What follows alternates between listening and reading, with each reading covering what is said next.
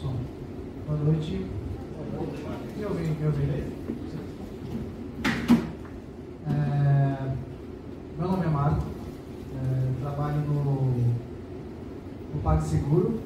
Na verdade, é, eu trabalhava numa empresa que chama Moib, uma empresa de meio de pagamento, e aí tem uns dois anos que nós somos adquiridos pelo PagSeguro. Então estamos pouco a pouco mergeando as estruturas lá dentro. Trabalho com desenvolvimento aí tem mais ou menos uns oito anos. É, gosto muito de open source. Tem contribuidores aqui? Alguma coisa open source? E gosto muito de open source. É, eu contribuí por algum tempo nesse projeto da Apache que chama Tommy. Todo mundo conhece o Tomcat. O Tommy ele é um, como se fosse um servidor de aplicação com Tomcat no centro. Bem, é bem interessante. É, eu gosto muito de comunidade também, de tecnologia. Ajudei há algum tempo o Sou Java, que é uma outra comunidade de Java grande aí no mundo. Uh, tem um blog, tem dois anos que eu não escrevo, mas eu sempre divulgo, para ver se me motiva a escrever, voltar a escrever. É, que chama Codificante. Falo de Java, outras coisas, open source e assim por diante. Então, vamos lá. É, tem alguém aqui que não é de TI? Não é de TI. Não, tudo bem.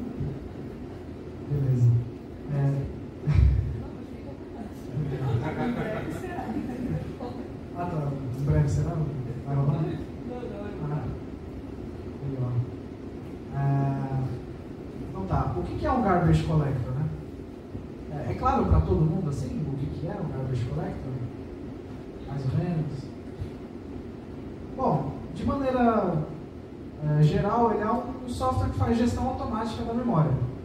Basicamente isso. Você tem lá o seu runtime, no nosso caso de Java tem a JVM. É, a gente vai alocando novos objetos e tem esse software chamado coletor de lixo, Garbage Collector, que vai pegando esses objetos que não estão mais em uso e recolhendo, para liberar memória para novos objetos. E, e, é um software importantíssimo assim, na nossa infraestrutura, que a gente está tão, é tão invisível para a gente no dia a dia, que talvez a gente nem se dê conta que ele existe, né, muitas vezes. Ah, o conceito em si é antigo pra caramba, lá no, nos anos 50, linguagem Lisp que trouxe inicialmente esse, esse conceito de coletor de lixo. Né, de, é um software que, de alguma forma, ajuda a reciclar a memória. Beleza. Uh, ali nos anos 90, o que era a linguagem popular? 80, 90? Era o querido C. Quem imagina C aí?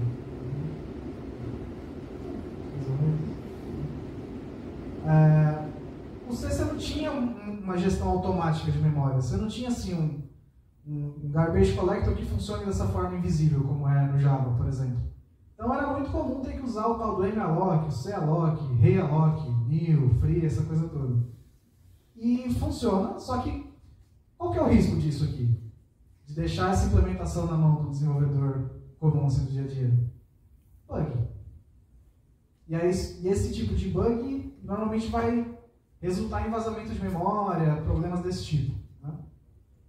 Então, uma das, das features talvez mais interessantes que o Java trouxe, logo na sua, no seu início, foi o tal do Garbage Collector, coletor de lixo.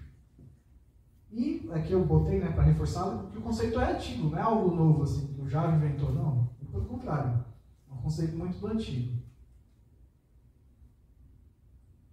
Beleza. É, de maneira geral, os coletores de maneira geral, é, a gente já mais ou menos sabe de algumas informações. Entre elas, a maioria dos objetos vão morrer jovens. Isso é uma coisa sabida já. É, então, por isso que a maioria dos coletores implementam o que a gente chama de técnica de coleta geracional. Ou seja, eu divido o meu modelo de memória em dois. Eu tenho a memória jovem, a geração jovem, Young Generation. Eu tenho a geração velha, Old Generation. Com isso, dessa forma, eu dividindo é, a minha memória dessa forma, eu consigo. É, eu não preciso ficar examinando a memória inteira de uma vez.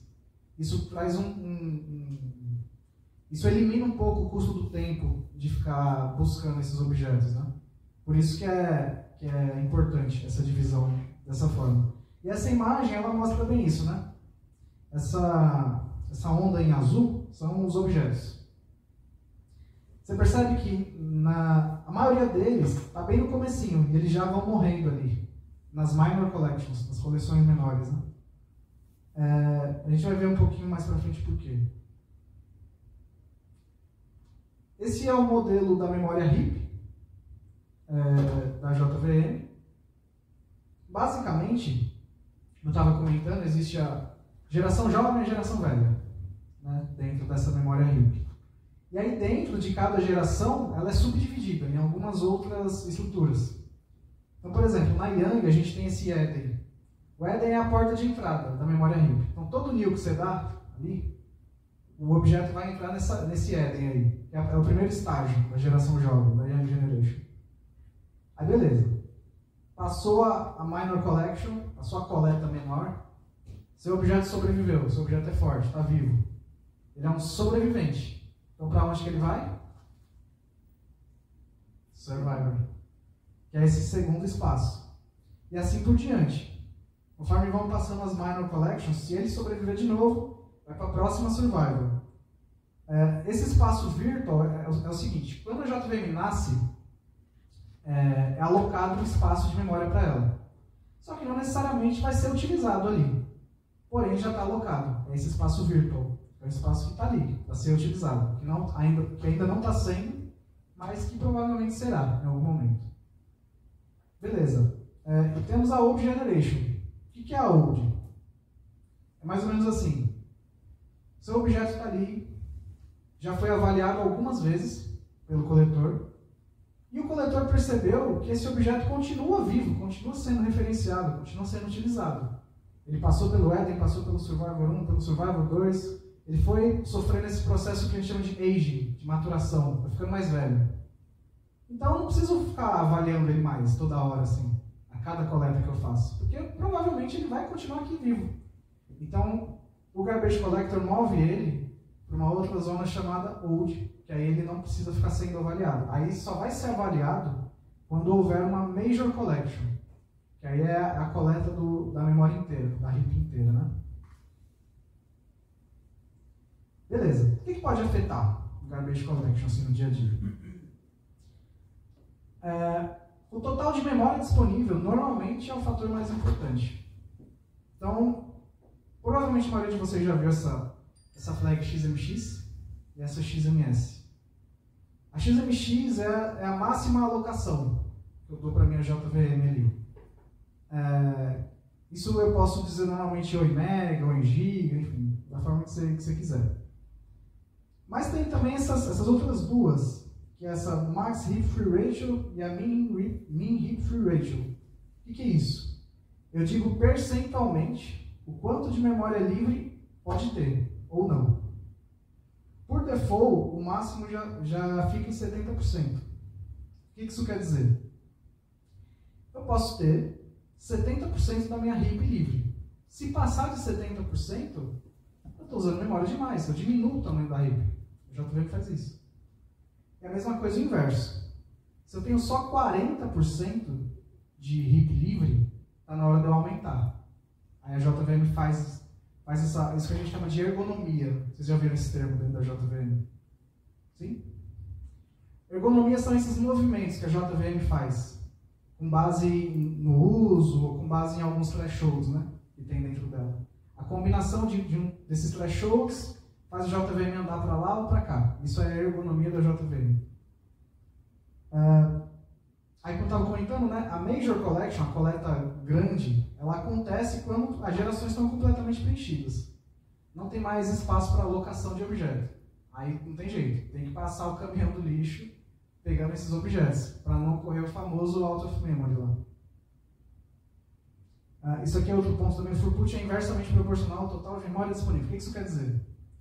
É, quanto mais memória disponível tiver para a minha JVM, e você dizer para a JVM né, que ela pode usar aquela memória disponível, você está tá ajudando o coletor a ter maior throughput, que é um, que é um dos pontos principais assim, do coletor, que a gente vai ver em detalhes mais para frente. Então é isso, né? Tentar garantir o máximo de memória que você puder. Uh, isso é outro ponto importante. Às vezes, as configurações, a gente deixa, a gente sobe lá nossa aplicação Java no default, né? A gente nem, muitas vezes passa uma flag, faz uma variação assim. E às vezes pode, o, o default da JVM pode não ser o bom para você, a sua aplicação. Então, por exemplo, eu já vi isso aqui acontecer, a pessoa colocar o XMX e o XMS igual, ou seja, o start e o máximo igual. Beleza, isso, com isso você é, diminui o custo de alocação, foi um argumento que eu recebi, faz sentido. Só que ao mesmo tempo, lembra que eu falei que a ergonomia da JVM se movimenta com base em vários thresholds, em vários gatilhos? Quando você faz isso, você tira alguns desses gatilhos. Você tira um pouco da, da autonomia da JVM. Então, assim, a não ser que você já tenha uma certa, um certo domínio do que você está fazendo, eu não, não, não sugeriria colocar esses dois iguais, XMS e XMX. Beleza. É, isso aqui é outro ponto também. Acrescentar a memória proporcionalmente que você acrescentar de processadores. Então não adianta assim, você dá muita memória, mas você está usando ali, sei lá, um, um processador só de dois núcleos. Aí também não faz muito, não vai ajudar tanto assim. Esse aqui é outro ponto também. É, ainda falando de, de memória, né? Dentro da RIP, vocês lembram que tem a Young Generation e a Old Generation. Um outro ponto, e lembra que eu falei que a maior parte da atividade de um coletor é na Young, é nos objetos jovens? Então, o quanto de memória você dá para Yang também pode ter influência na, na qualidade da coleta. Por exemplo, é, quanto maior ela for, menos vezes o, o, o minor collection vai ocorrer. Porém, uma Yang maior implica numa old generation menor. Ou seja, você corre o risco de ter mais majors acontecendo. Então, é, se você fizer esse, esse exame mental, olhando aqui para o azul e para o verde, né? Lembra que eu falei que a major, que é a coleta grande, ela vai acontecer quando está tudo cheio, né? Porém, ela pode ser forçada a acontecer se a old já estiver cheia. Então, também você não pode deixar muito, ela muito pequena. Senão, também você pode acabar forçando uma major collection de acontecer. Então, é, é sempre bom assim tomar um certo cuidado. Por isso que você tem que avaliar, né? Como é que é a sua, a sua aplicação? Como é que ela funciona no dia a dia? Para você poder tomar esse tipo de decisão. Uh, e a, a, principal flag de controle assim, da Yang é essa new ratio, que é assim, você diz em proporção o quanto da HIP vai ser para Yang. Então, por exemplo, se eu botar o número 4, eu estou dizendo que um quarto da HIP vai ser dedicada para Yang. Isso já vai ajudar. Se, por exemplo, assim, você está é, vendo ali que, confirmando né, isso que eu comentei, da maioria dos objetos morrerem jovens, que é o que provavelmente acontece na maioria das aplicações, então talvez seja interessante você dar uma olhada nessa flag, de aumentar um pouquinho o tamanho da Yang, especificamente. E quais coletores temos? Milhares. Aqui eu botei alguns que são mais comuns no nosso dia a dia, que provavelmente as suas aplicações estão usando de alguma forma, em algum momento. Então tem o serial collector, tem o coletor paralelo, esse paralelo, e os coletores concorrentes. Então, aqui é as flags, né, para forçar o uso, que é o, esse use serial GC, use parallel GC, e no caso dos concorrentes, é use compmark sweep GC e use G1 GC. Esses aqui são, são quatro coletores que são talvez os mais comuns, assim, que, que provavelmente vão estar no dia a dia das, das nossas aplicações. Então, como que, é, como que é o tal do serial, né? É o primeiro. É, ele funciona single thread. Então, assim, que nem tá, tá, nessa imagem aqui, né? Você tem as threads da sua aplicação Java ali rodando, bonitinho. Em algum momento vai parar a sua aplicação. Já viu o termo Stop the World? Parar o mundo? Em, Garbage Collection? É porque literalmente, para fazer a coleta, a sua aplicação para. Por poucos, poucos milissegundos, normalmente. 100, 250, 300, 400. Aí vai depender de como está o teu ambiente. Mas a sua aplicação literalmente para para fazer a coleta. Isso é o tal do stop the word. E aí nesse momento, solta o serial, o coletor serial solta a threadzinha dele para começar o trabalho. Aí depois volta, né, as threads da aplicação. E aí depois volta a threadzinha lá do serial para fazer a coleta da old. É De maneira muito simplista, é assim que o coletor serial funciona. E ele, ele vem, se você está usando o Java 11 para trás, ou seja, 9, 10 e 9 para trás, né? É, e você está iniciando com. Ele, a JVM faz uma conta. Se, se você está com menos de 2 GB de memória RAM, ele já vai setar o serial para você, como padrão. Aí só depois, se você aumentar essa memória de alguma forma, aí que ele vai tentar escolher outros coletores. Para aplicações pequenas, funciona. Não tem, muito problema não. Paralelo. Paralelo já é diferente. Ele já vai usar mais threads, né? Para fazer o GC. E com isso vai, você vai ter mais, mais throughput, né? Você, você diminui a carga de trabalho né? quando você está soltando mais threads assim. Então, de maneira muito simplista, é isso também. Você tem as threads da aplicação para o mundo, para acontecer o GC da Yankee, volta a aplicação. Aí depois para o mundo de novo, para as threads do GC na Old Generation. Parece estranho isso de parar o mundo da aplicação? Vocês sabiam disso?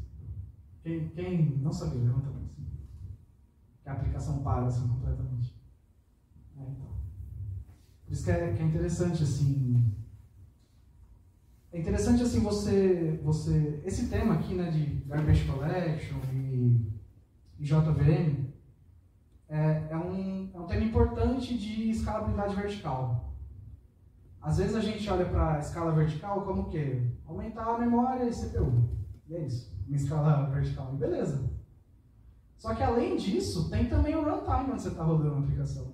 No nosso caso, JVM, mas poderia ser o RubyVM, que eu estava conversando com ele aqui, é, ou a CLR lá da .NET, enfim.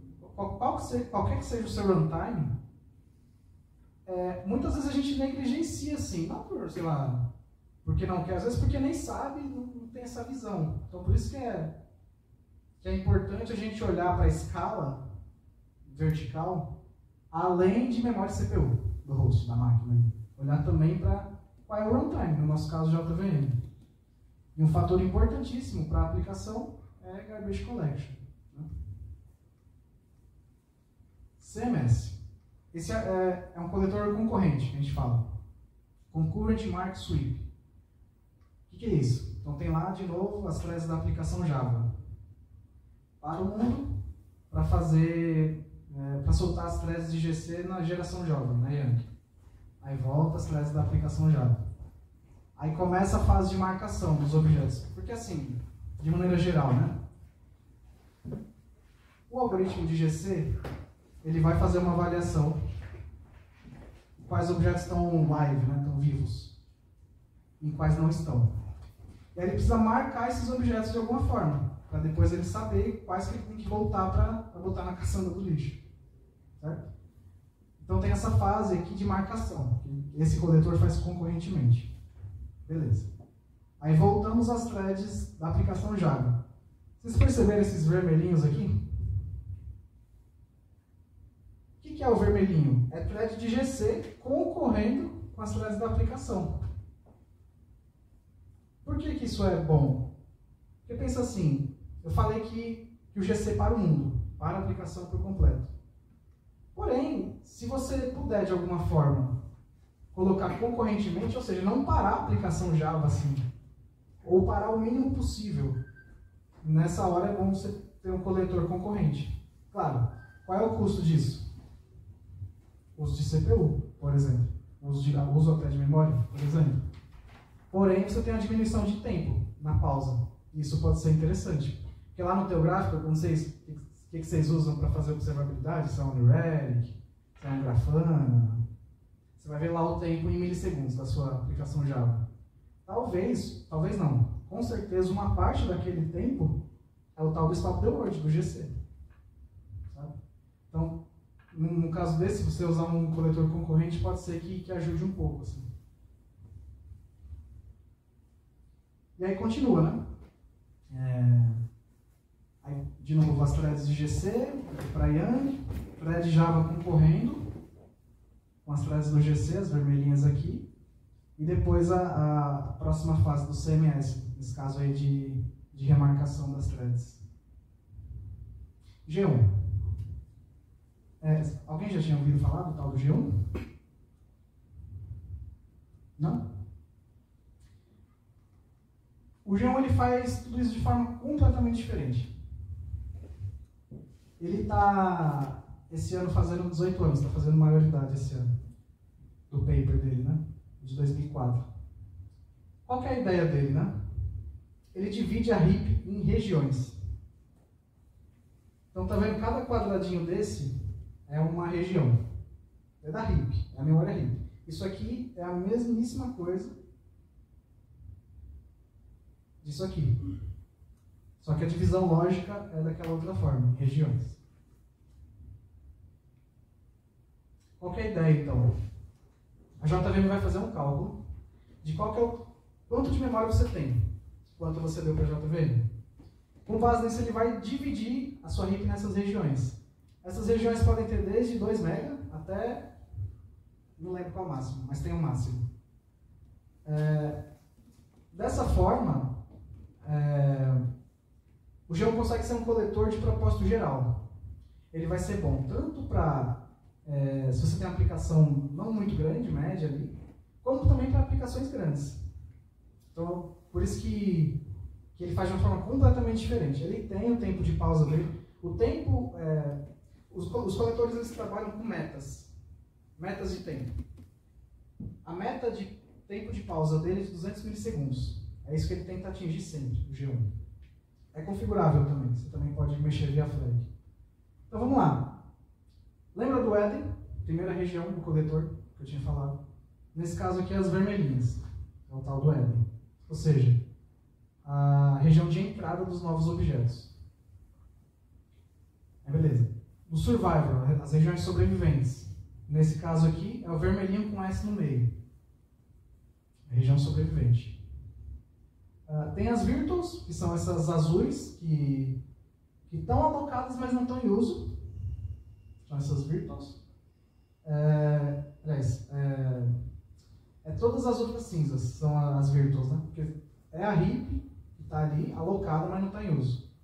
E a Old Generation, nesse caso, é azul. São os quadrados azuisinhos.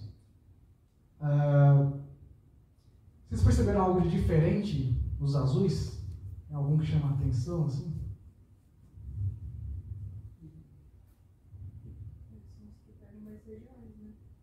Exatamente. O que é esse H no meio aí? É um conceito que chama Humongous Object, uma palavra bonita. Que nada mais é que objetos muito grandes, objetos monstruosos. Então o que, que acontece? Quando, quando, você tem um objeto muito grande, é, que ele precisa ocupar mais de uma região da RIP, então o coletor entende, tá bom, vou dar mais uma região para ele. E assim ele continua avaliando. A cada Yankee tem essa avaliação. Esse objeto ainda é do mesmo tamanho, ele é maior, ele é menor. Se for maior, dá mais uma região para ele. Mas por que isso, né? Porque é o seguinte, quando você tem um objeto grande desse, ele é automaticamente promovido para old. Ele nem fica na Yang assim. Por quê? Qual a lógica? Bem, se ele é grande, normalmente por heurística, a gente sabe que ele provavelmente vai ser muito utilizado. Ele provavelmente vai ficar vivo muito tempo se ele é grande. Provavelmente muita gente chama ele, ele é referenciado em muitos lugares. Então já vamos promover para old. Por quê? Esse tempo de cópia, copiar o objeto daqui, da Yang para old, é custoso. Então, quanto mais rápido eu tomar essa decisão, melhor. É, é tempo que eu estou salvando para mim, para o coletor, né? E naturalmente para a aplicação. Então, deu, deu para sacar mais ou menos a lógica desse G1? Ele não é novo, como eu falei, está completando 18 aninhos aí do paper dele. É, ele chegou no Java 7 de forma experimental e a partir do Java 11 passou a ser o padrão. Então, provavelmente se você está usando Java 11, é, o seu coletor inicial provavelmente já é o G1. Então, é, a gente vai ver aqui que tem outros coletores que tem propósitos muito específicos, né? O G1 ele tenta ser, por isso até que ele foi escolhido como padrão, ele tenta ser um de propósito geral, ser bom para a maioria dos casos de aplicações. Outros coletores. A gente tem aí esse Z, quem já ouviu falar do Z? Ele foi introduzido experimentalmente no Java 11. É... O desafio dele é pegar hits muito grandes. desafio principal dele. E tipo assim, a RIP é muito grande e ao mesmo tempo eu quero que tenha um tempo de pausa menor possível. Esse Z ele tenta atacar esse desafio de ter aquele stop the word para o mundo, para a aplicação, no menor tempo possível. Parece que ele foi feito, principalmente. Esse Shenandoah, que foi feito pelo pessoal da Red Hat, não sei se ainda está sob a tutela deles, assim, mas foi criado por eles. Uma coisa que eu não expliquei para explicar esse Shenandoah. Olhando aqui para a HIP, é, lembra, né? Cada coleta que ele faz, e ele precisa tirar esse objeto da memória, ele cria buracos na memória. Certo? Então você imagina, eu estou ali com a, com a Yang preenchida, e eu fiz essa fase de, de aging, né, de promover o objeto. Aí eu tirei ele daquele espaço de memória. Só que os objetos têm tamanhos diferentes, né? Pensa você com os Legos assim, cada um tem um tamanho diferente, e você tira um do meio. Se você pegar um maior, você não vai conseguir encaixar ali. Então o que acontece com a memória quando passa a coleta? Ela fica fragmentada. Por isso que existe a tal da fase da compactação. É, é como se fosse é, você tentar é, aproveitar melhor o espaço. Tipo, pegar aqueles buracos que ficaram e movendo objetos para tentar colocar ali, caber ali. Se não der, aí Major Collection. E é a vida. E aí o Shenandoah tenta atacar isso. Ele faz essa compactação, espe especificamente essa fase de compactação, de forma concorrente. É bem, é bem interessante assim.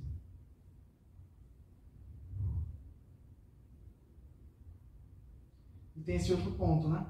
O tamanho da RIP não influencia no tempo de pausa. Isso aqui, eu não vi outro coletor atacando esse tipo de coisa. Ou seja, não importa se a minha RIP é pequenininha ou é estelar, gigantesca. Para o Shenandoah não vai ser um, um, fator de preocupação. Ele vai atuar com a, mesma, com a mesma eficiência nesse tempo de pausa, nesse tempo de parar o mundo. Elixir, quem já vai falar do Elixir? Esse eu imaginei que não mesmo, porque ele é muito novo. O paper dele é de agora, de abril. Ele foi feito aí pela é, dois rapazes da Universidade Federal da Austrália em parceria com o Google. Uh, assim, olhando, eu não li o paper dele inteiro, que é bem grande, mas ele tenta fazer o benchmark com o Z e com o G1. Com o G1 eu achei meio covardia, porque o G1 é, ser, é de propósito geral, assim. Então, naturalmente, ele vai ser melhor mesmo, né? Em alguns pontos. Aí foi esperteza do pessoal aí da, da universidade. Mas a comparação com o Z eu achei interessante. Então ele. Qual que é o objetivo dele? Qual que é a promessa desse Elixir, né? Ele vem para tentar chegar no quase zero de short pause, de, de pausa, né? De stop the word. Uma promessa ousada, né? Não sei, ainda não está sendo utilizado, né? Até porque é muito novo e tal. É um projeto ainda que acabou de ser apresentado, mas é bastante interessante também. E eles usaram, não sei se vocês já ouviram falar dessa ferramenta, chama MMKT. É tipo um framework para construção de GCs. É bem legal. Tipo, se você quiser fazer um, um GC de zoeira mesmo, de brincadeira, para entender o conceito, tem esse MMKT, que é um, é um framework para construção de garbage collector. Bem, bem interessante. Então, dicas gerais, né? É, em geral, aumentar a RIP já deveria trazer alguma algum alívio, algum refresco para o GC trabalhar, que é aquela flag XMX, né, que é do máximo e tal, aquilo ali já deveria ser. Se você não tem nenhuma vivência assim, com tuning de JVM, acho que começar por aí seria interessante. Ah, eu comentei, né, da...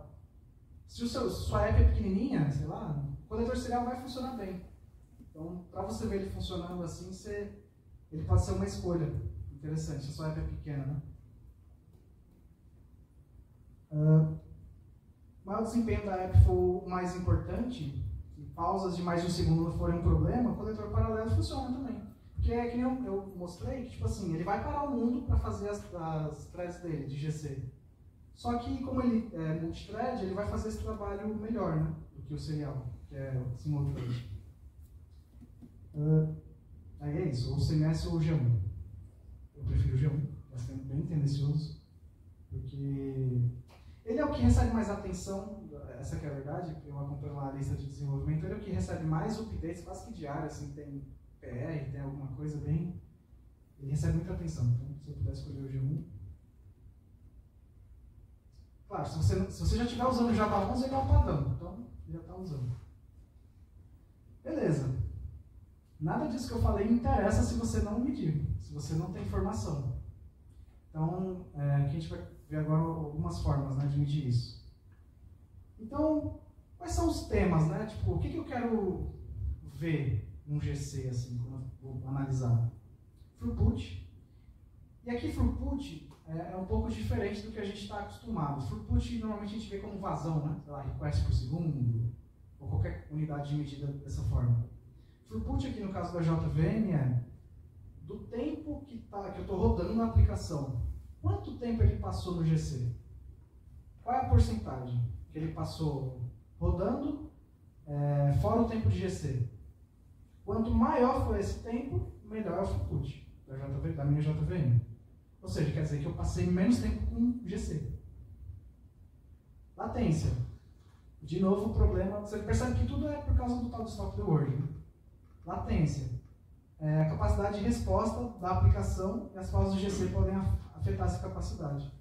Então, assim, se, o, se a sua app está parando muito, fazendo muitas coletas, é, naturalmente o tempo de resposta da sua aplicação também vai crescer junto com esse monte de pausa. E o terceiro ponto, é footprint, né? que é quanto de memória o teu GC está usando. É um outro... Então são esses três principais temas que eu quero olhar quando eu estou analisando o GC especificamente. Maneiras de medir. Uma, uma flag, que é essa print command line flags, com ela eu já tenho uma, uma ótima visão geral do que está rolando assim, do meu ambiente atual. Então ali eu já consigo ver, ah, estou usando o G1, nesse caso estou usando o Java 14 nesse print aí. Não sei se dá para ver legal aqui. Estou é, usando o G1, o meu G1 está partindo já com, com 10 threads. É, eu sei qual é o tamanho inicial da RIP, sei qual é o máximo, sei. O que mais que eu sei aqui? Tamanho mínimo. Sim, tamanho mínimo. Então, só com essa flag eu já descobri um monte de coisa, assim, já tenho um excelente ponto de partida. É... No, J, no JDK9 foi introduzida essa flag xlog. Que é tipo assim, é o xlog, dois pontos, alguma tag da JVM. Nesse caso o GC, que é o que eu queria ver. Com isso, e depois, né, o, nesse caso estou rodando um jar aqui, o caminho do meu jar. Olha só que interessante. Eu estou vendo aqui que ele está na Yang, ele fez uma pausa na Yang, pausa de evacuação, ou seja, preencheu a YAML, todas as, todos aqueles espaços Eden, Survivor e tudo mais, preencheu a YAML. Quanto que eu tinha antes, quanto que eu passei a ter depois da coleta? Então, nessa coleta, eu estava usando 23 MB, passou a coleta, foi para 1 MB minha, minha YAML, né? E no total, 118 MB, é a minha RIP. E quanto tempo levou? essa pausa. Dois milissegundos. Agora, olha quando. Só que essa aplicação não tem usuário nenhum, uma aplicação, um jarzinho meu é, pequenininho. Isso aqui é só o start do Spring. Já rodou três coletas na Yang aqui. Então, é, a partir do JPK9 tem essa xlog que você já consegue, você usando a tag GC, você já consegue ver. É, isso é a forma simplificada. Você pode pôr é, xlog, 2.gc, asterisco. Aí vai vir um carnaval de informação, vai vir muita coisa. Muito, muito mais detalhes. Isso aqui é só para não assustar muito. É só para. Ah, dá para eu ver quanto tinha, quanto passou a ter e qual o tempo, que é talvez é o mais importante aqui, além da memória ali. Tem a maneira mais depois você ficou craque já, né? já entendeu tudo, já está um mestre de GC. Tem as ferramentas visuais.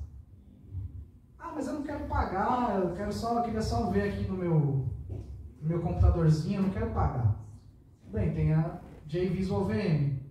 que até o Java 9 era parte do JDK, é, aí passou a não ser mais. Mas é o primeiro link que você põe lá, JVisual VM download. Já é o primeiro link. É um projeto open source, né? Então aqui, né? É, eu botei a minha aplicaçãozinha para ele monitorar. Ele já pega, na real, né? Que é um processo Java, ele olha os processos, ele já viu que tem um processinho Java rodando. Nesse caso aqui, zero de atividade de GC. Ah, tem um botão para performar um GC. Isso aqui é... Tem, tem umas pessoas que descobriram que tem a classe lá de, de GC, né? GC Start, essa coisa toda. Só que você não tem como garantir.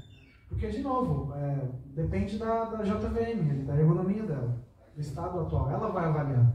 Ela viu que tem o seu pedido ali, ela vai colocar o seu pedido na stack. Mas antes ela vai fazer tudo que ela precisar fazer.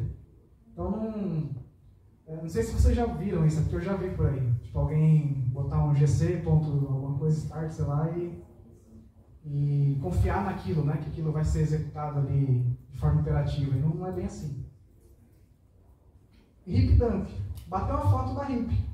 Às vezes é importante para você ver, por exemplo, é, quanto de uso está em memória, né, o seu, o seu metaspace dentro da hip.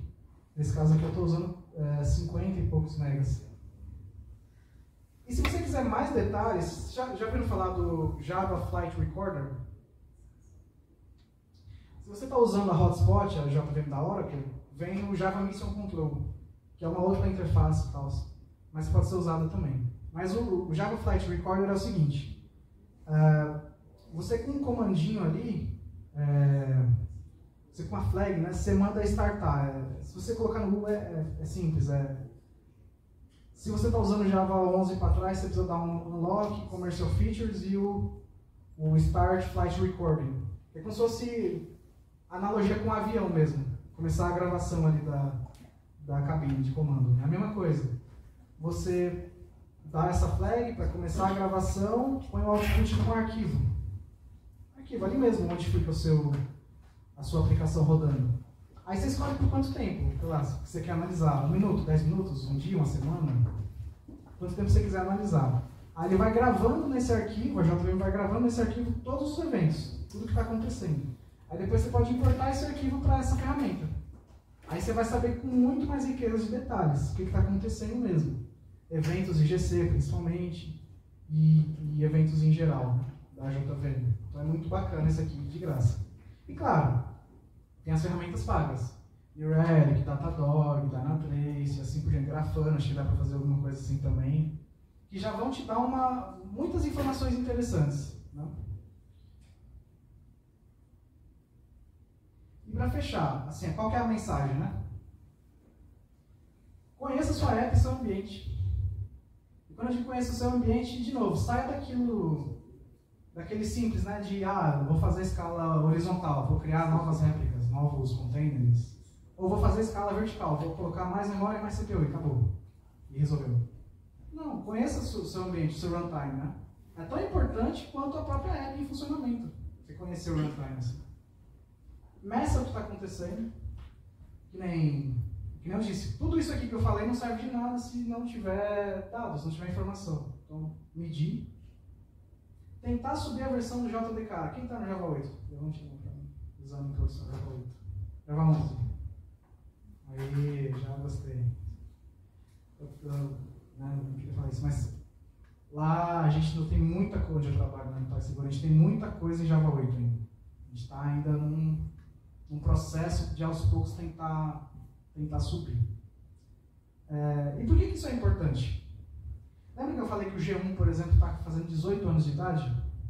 Vocês acham que em 2004 o G1 era igual ao que é hoje o Java 19? Não. É quase outro projeto. Tem, tem uma talk que eu vi de um dos, dos mantenedores do G1, ele falando do, das melhorias do Java 8 para o Java 9, para o G1 especificamente. Uma delas é um negócio que chama assim, String Deduplication que é isso? Até o Java 8, o G1 não analisava se duas strings eram iguais. E ele iria coletar como dois processos diferentes, essas strings, mesmo que fossem iguais. O G1, no Java 9 para frente, já passa a fazer essa análise. Ah, essa string é igual, vou estourar num array de caracteres só, vai ser uma coisa só. Quem estiver usando essa string, não importa quem seja, vai referenciar só um objeto. Não dois, não dez, não vinte mil. Sabe? Então, isso só de você subir uma versão, tentar ficar na versão mais atual, você já ganhou isso. Essa puta melhoria de performance. Que nem você sabia que poderia ter. Então, tentar sempre que possível subir a, a, as versões. Eu sei que é difícil, é, sei lá, agora o release trem a cada seis meses do Java é complicado, tem como. Nosso dia a dia de desenvolvedores aí, com, com teste que vai agregar, com, né, com data e tudo mais, eu sei que é complicado. Mas sempre que possível, assim, e tentando, sabe, conversando com, com seus pares, com outras pessoas, para ver. Porque é muita coisa entre uma versão e outra que você deixa de ganhar às vezes de segurança, às vezes de performance. Sabe? Então aprofunde nos coletores que a gente viu, nesses mais básicos, se, se você achar que é interessante, para fazer a melhor escolha. E escalabilidade vertical importa. Né? Saia do negócio de aumentar a memória e CPU, que só isso não é, não é suficiente. Beleza? Acho que era tudo isso que eu tinha para falar hoje.